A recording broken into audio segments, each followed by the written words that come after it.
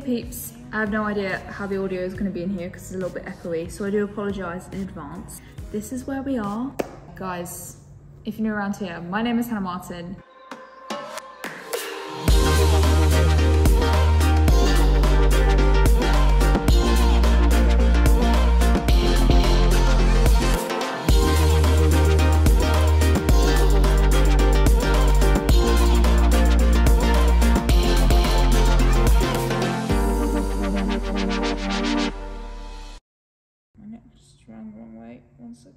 Today, we are talking about five things I wish I did before I went professional. I think I've had a little bit more time to reflect recently. So I've just moved apartments and like all of that change has really got me thinking about things I might have done differently or things I wish I did sooner. I know that a lot of students watch my channel, wish someone had told me before I went professional some of these things. And just when you're training, really nice to know there is a reason behind a lot of the work that you do. So without rambling, let's talk about them. Number one, group and de ballet work. So coming from a background in rhythmic gymnastics where you practically did everything, unless you're part of a group, like you did kind of do everything on your own. I remember with me, it was all down to me, like the amount of work that I decided to push myself with, use as much space as I wanted, if I wanted to go in that direction or this direction. Spatial awareness wasn't really an issue coming from that background. And then when I did go to school, it was obviously COVID, so we didn't do that much group work or de ballet work. And even when I went to summer schools, I was like,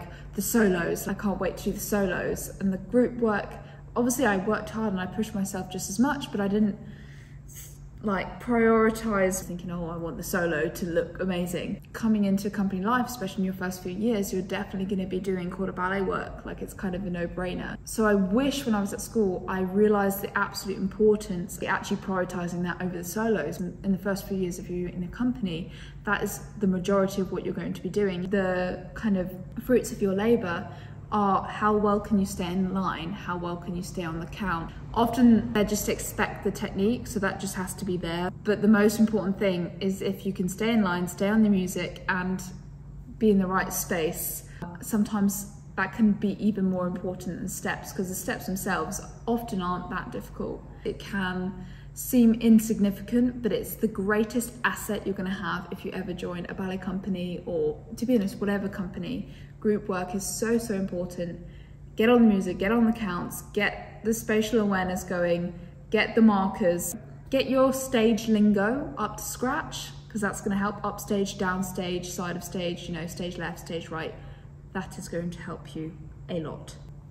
The second thing, it kind of goes under the same kind of wing, learning how to learn very well, especially choreography, how to learn quickly, how to learn efficiently. You know, some people are very naturally gifted at it. I wouldn't say it's one of my natural giftings. I think it's definitely a mental thing. Sometimes you get in a room and you feel when there's a lot of new stuff thrown at me, my brain doesn't quite know how to cope with all the new information. So I'm learning the best strategies on how to take in a lot of information very quickly and put it on my body. It's all about coordination and also learning how to count really well. When they want things on specific counts, you've got to make sure it's on the count, especially when some choreographers don't use music, they just use counts. If you don't know how to count well, this is a real, real issue not speaking from uh, personal experience. If you're not able to pick up the choreography, you do fall behind. In a company setting, everyone is fast, everyone picks up quickly. Some people may have to do just that bit of extra homework. That's fine, there's no shame in that. If you're in a school environment and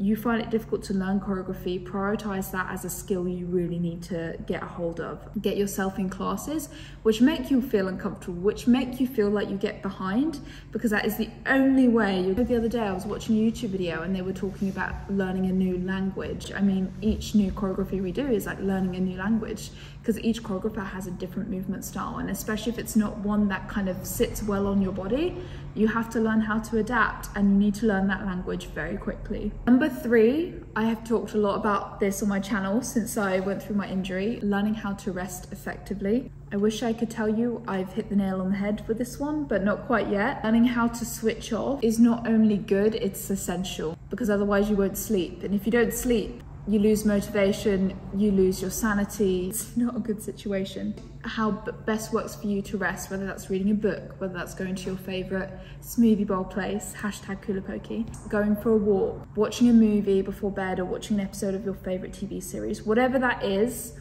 find it and spend time finding what you like. It doesn't have to be the same as the person next to you. Find something unique to you, actually gets your mind out of work. Because for me, my brain is always, how can I be better? How can I improve? What's the key to me getting this movement that I'm really struggling with? And I find myself never leaving the studio, even though I can be out the studio for the whole day, my mind can still be here. Trying to learn effective ways of shutting off is essential, otherwise you will burn out. Again, not talking from experience. Okay, this one is personal to me, but number four is I wish I sorted out my pointe shoes earlier. I was in Merlet for a long time and they worked for a season. I went through school and many of you know I went through a bit of pointe journey there. I kept shifting into other shoes, but all of them were worse than what I was already wearing. That was causing me extremely painful blisters or just not looking great, not dancing great. Like when you swap different pairs of shoes, especially if you're like in Gaynors or Merlet, to go to then like Freed or Bloch, it's like going from an automatic car to a manual. So it's a big shift and a big change for your body and you have to do it carefully. Officially, officially changed to Freed now. I know. Round of applause everyone, thank you. You can put the clapping emojis in the comments. Finally made the shift. I was very nervous about it because last time I tried to make the shift was when I got injured last time. I had a lot of help from Frances Collier. Very much recommend her. I will link her down below. But I just wish that these shoes I sorted earlier. I just wish I had more bravery to experiment with it when I was younger because I could have probably saved maybe a bit of time. I just wish I had been a bit more determined as a student to get the pointe shoes sorted and not just being like, well, these are okay. They're not ideal, but they're okay. I'm just gonna keep wearing them until I hopefully get a job. I wish I had just been like, no, I'm gonna make a shift. Even if I'm, my level drops for a little bit, I want these sorted before I go professional. I wish I had had that coin drop moment, pin drop. What's the saying? Whatever the saying is, I wish I had that moment where I was like, no, I'm gonna make the shift before I go professional because maybe as a professional, I don't want to be faffing around with this anymore. But you know what? We've gone through the journey. We are still going through the journey. I'm figuring out which make of Freed I like, but we're getting there. Three or four weeks into Freeds now, and I haven't touched a Merlet. And at number five, perhaps the most important thing is I just wish, even now I say this to myself, I wish I just would stress out less about everything.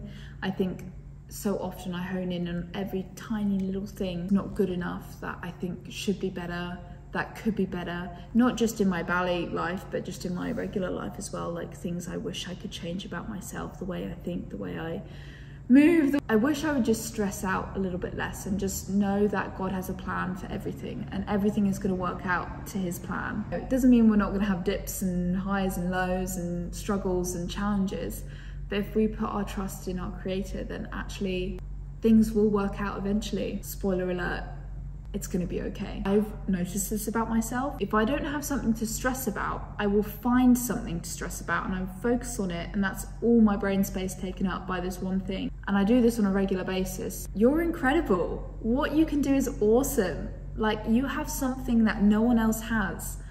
You are unique, you are brilliant, and you are on your own journey. It doesn't have to look the same as the person next to you. I'm gonna leave you on that note.